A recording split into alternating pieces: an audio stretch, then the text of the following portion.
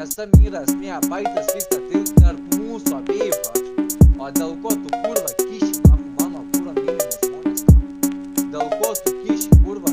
Tu esi nahu, tu toksai tupelis ar kas tau yra kurva, kad tu kiši nahu į kačių mano šeimos narius kurva. Net tu pagalvok logiškai.